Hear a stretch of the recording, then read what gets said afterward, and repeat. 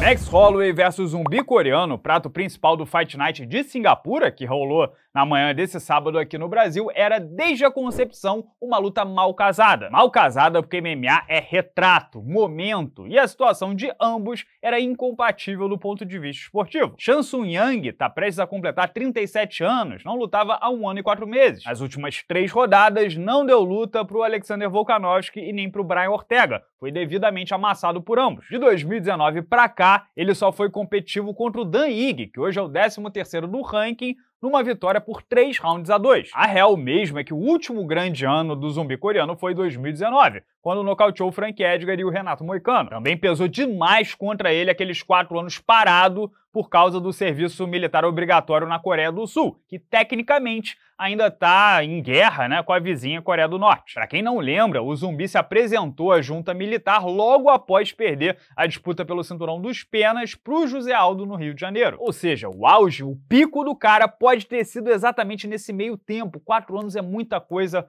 pro MMA. A hora de ter batido de frente com o Max Holloway era ali. Enquanto isso, Holloway, de ainda 31 anos, segue na crista da onda, número 1 um do ranking absoluto, tendo batido três das maiores promessas da categoria nos últimos dois anos. Calvin Qatar, Arnold Allen e aí Rodrigues. Essa dinâmica gerou um cenário bem curioso. Holloway vence todo mundo, alguns com certa facilidade até, mas não consegue passar pelo campeão Alexander Volkanovski. Esse, por sua vez, não aguenta mais enfrentar o havaiano. Já foram três lutas, então ele clama para que jovens em ascensão não precisem passar pelo Holloway para visitá-lo. É o caso do Ilia Topuria, o quinto do ranking, que deve receber o title shot direto porque não há mais opção. Volkanovski e Holloway já bateram todo mundo. A luta com o zumbi coreano só foi casada por isso. Falta de opção, não vale a pena tentar a sorte de repente queimar o Topuria, e também pelo currículo, né, o histórico expressivo de ambos. Mas, dentro do octógono, o que fala alto é o esportivo, e o resultado era dos mais previsíveis.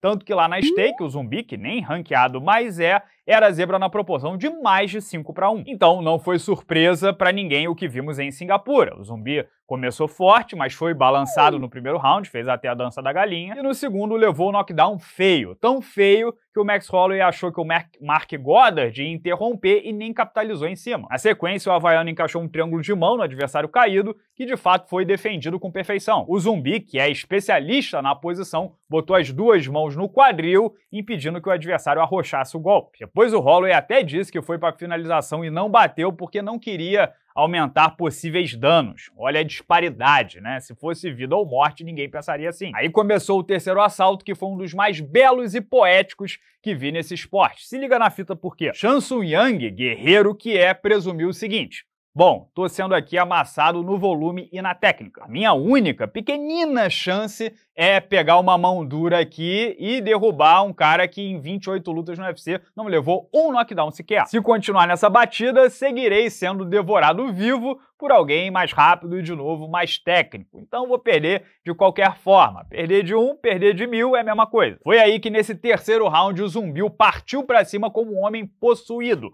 tudo ou nada, deu tudo que tinha. Claro, levou a pior e foi nocauteado feio por um overhand de direita. Mas ver alguém com a coragem, a hombridade de cair atirando, topar voltar para casa carregado no próprio escudo, é bonito de se ver. A maioria no seu lugar preferiria perder por pouco, perder na decisão, não correr um risco tão alto. Não deu certo hoje, beleza, mas os lutadores históricos são aqueles que correm esse tipo de risco e às vezes conseguem, tiram da cartola resultados improváveis. O zumbi estava lutando pela continuidade na carreira e perder por qualquer resultado que fosse a interromperia. Ele tentou a última cartada. O coreano então decidiu que o seu tempo no esporte havia passado e fez um belíssimo discurso de despedida, Vou parar de lutar, sempre mirei em ser campeão, desde que comecei no esporte. Não tô aqui para ser o terceiro, quarto ou quinto. Tentei o meu absoluto melhor na preparação para o Holloway realmente achava que podia batê-lo. Falhei, então não acho que terei mais oportunidades. Por isso vou parar. Carreira fantástica, disputou o cinturão duas vezes, bateu grandes nomes do esporte como Frank Edgar e Dustin Poirier e foi o maior nome da história do seu país no MMA. Quanto a Max Holloway, não sei o que fazer. Já que vão passar o Topuria direto para o Volkanovski, o único adversário inédito vindo de vitória para ele seria o nono do ranking, Giga Chikadze. Sei que tô ficando chato com esse negócio de subir de peso. Citei a solução recentemente tanto para o Poitin quanto para o Aljamain Sterling. Mas pensem comigo, o que é melhor? Estar na posição de escada contra o nono do ranking, um cara que perdeu para o Calvin Qatar devidamente macetado por você, ou um desafio interessante e acessível, daqueles que fervem o sangue, tipo Beneil Dariush, um cara que pode levá-lo direto ao Tyro Shot dos leves. Para a empresa mesmo, se o Holloway corta o Chikadze pela raiz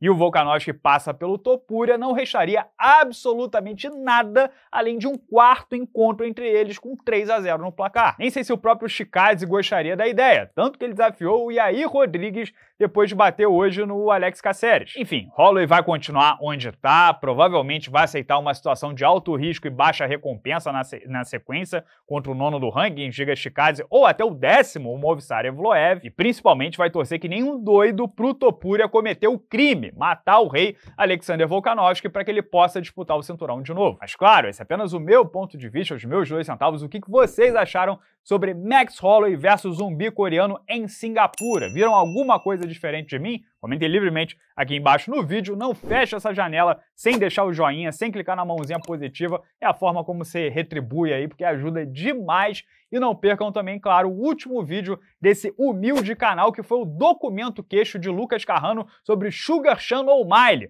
maconheiro, vegano, é, poligâmico e filho de policial, para você entender o passado do atual campeão dos galos, você clica no link aqui do lado e confere. Grande abraço a todos, obrigado pela audiência de sempre e até amanhã.